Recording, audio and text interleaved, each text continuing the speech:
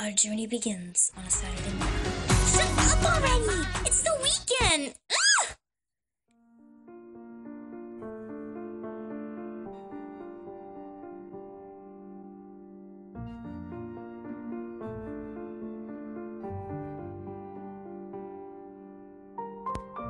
Another day wasted.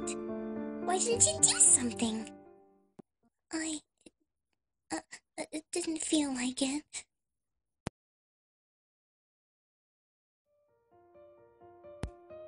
Let's do something with friends tomorrow. Hmm? I don't have any friends. Let's just see who will say yes. Uh, Shall we? it's two o'clock. I told you she wouldn't come. Now, wait a second.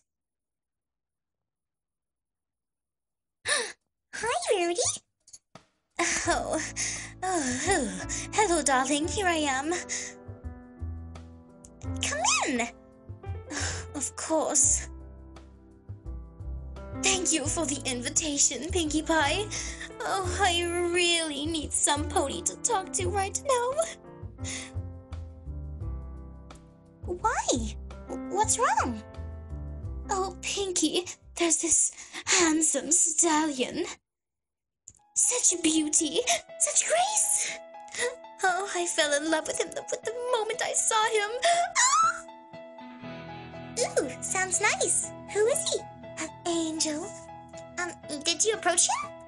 Well, yes, of course, darling. Uh, actually, we even talked a lot. More than a little chit chat, you see, but what did I find out in the conversation? He has another It's so horrible. Oh, whatever shall I do, Pinkie? you know what's terrible? Whenever my eye catches a stallion, he's either total scum or he doesn't love me back. Rarity, I'm sure it's not because of you. What else could it be, darling? But he sure isn't the one, is he? Yes, he is. there are a million like him out there? I want him. But there's already a girl he likes. This stupid girl. Ugh. Every stallion I ever liked never liked me back. Rarity. Well, maybe I'm just destined to never find the one. Anyway, Pinkie, I really should go home. It's already getting late. Uh, sure, bye. Sure, Mary, because Pinkie was right about this meeting. I finally know what to do. I will help you. It's easy. I can be helpful. Rarity's in love. There is another mare. The stallion doesn't love her back yet. But there must be a solution. It was a good move to come and tell me, Rarity.